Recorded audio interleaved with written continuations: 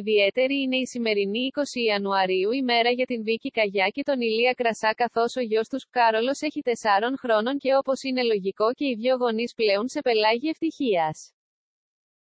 Η γνωστή παρουσιάστρια η οποία αυτόν τον καιρό παρουσιάζει το DWTS, είναι αρκετά ενεργή μέσα από τους προσωπικούς της στα social θέλησε να κάνει μια τρυφερή ανάρτηση για τον γιο της όπου θέλησε να του ευχηθεί δημόσια για τα γενέθλια του.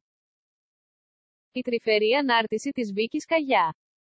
Χρόνια πολλά για τα τέταρτα γενέθλια στο πιο κουλπεδάκι. Η γενναιόδορη καρδιά σου, η ευγενική φύση, οι ομαλές λειτουργίες είναι μόνο μερικά από τα πράγματα που σε κάνουν εξαιρετικό.